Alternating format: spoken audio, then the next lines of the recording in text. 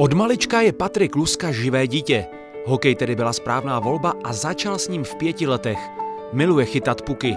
Už v šesti letech měl tedy jasno, že bude brankářem. E, ještě když jsem chodil do školky, tak jsme si tam hráli, jsme měli kostičku takovou plastovou a taky jsem byl v brance mezi třeba dvěma krabicema. Takže to je tak, že prostě jsem ch- chtěl chytat furt. Patrik na sobě makal, zlepšoval se, chytal i za starší ročníky, byl oporou týmu. Jeho slibně se rozvíjející kariéru ale na začátku roku 2023 překazila zákeřná nemoc, akutní lymfoblastická leukémie. Byl jednou zápas v poličce a tam jsem prostě první dvě třetiny se snažil chytat, ale měl jsem prostě furt chuť zvracet a podobně, jsem už to neudechával. A tak to, bylo jako, to byl první uh, příznak toho, že jsem si myslel, že něco není v pořádku. Patrik musel zimní stadion vyměnit za čtyři zdi malého nemocničního pokoje. Zhroutil se mu svět a psychicky byl hodně dole. V té nemocnici se to zase všechno točilo kolem páti. Jako se to točilo na zimáku, tak se to točilo i v nemocnici. Tatínek vařil a já jsem byla s ním, aby tam měl nějakou podporu, protože to ze začátku fyzicky ani psychicky moc nedával.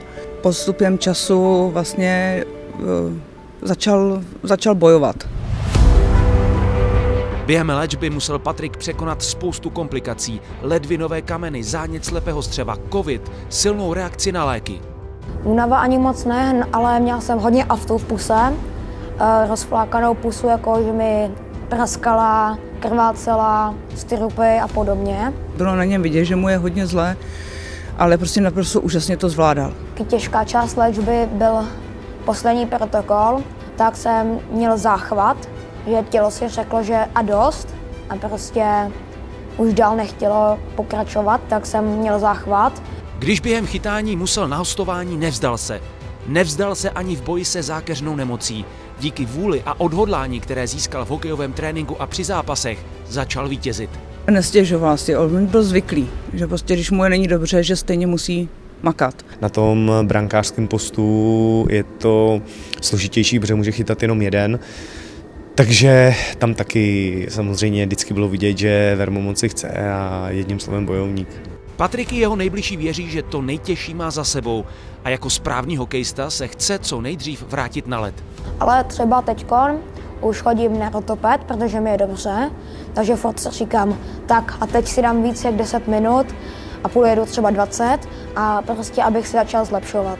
Hlavní je, že je zase zpátky v té šatně a to, že si nevzal výstroj nebo jen tak se šel sklouznout na 10 minut, tak to už nehrál jakou roli, spíš jako, že tam zase se vrátil a všichni byli jako rádi a i ty kluci vidějí, že to není vždycky jenom o hokej, že to je jako, že mají dalšího kamaráda třeba zpátky v šatně.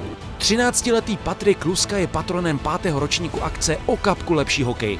Akce, která napříč Typ Sport Extraligou, Šance ligou i univerzitním hokejem propojuje hokejové hnutí na podporu dětských pacientů s poruchou krvetvorby. Zapojit se můžete i vy. Je to úžasné, že se takhle dokážou spojit eh, v jednu velikánskou akci a prostě těm onkologickým dětem pomáhat. A bohužel tahle nemoc si nevybírá. Mám cíl se zase vrátit do brány a dostat se hlavně i do NHL, kdyby to šlo.